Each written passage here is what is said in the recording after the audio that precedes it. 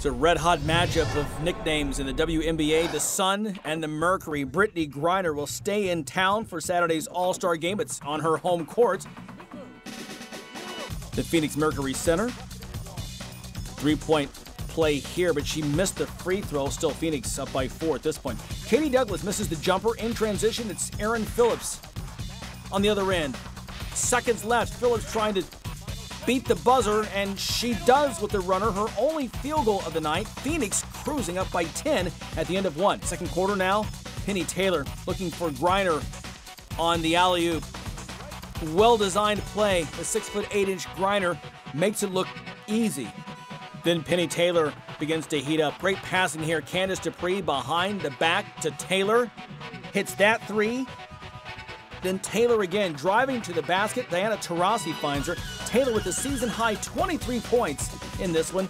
Phoenix up at the half, 51 39, trying to keep it going, but Connecticut. Katie Douglas has other ideas. One of five three pointers on the night for her, her best efforts of the year. More Douglas, the floater off the glass. The Sun within seven. Back comes Phoenix. Griner for Taurasi for three. 14 points, six assists for the former UConn Husky and the All Star. Taurasi back to Griner this time. Watch this turnaround jumper. That's solid. 18 point lead for Phoenix.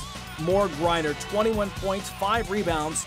She now has 80 block shots on the year with three more in this game. Phoenix wins easily 101 85.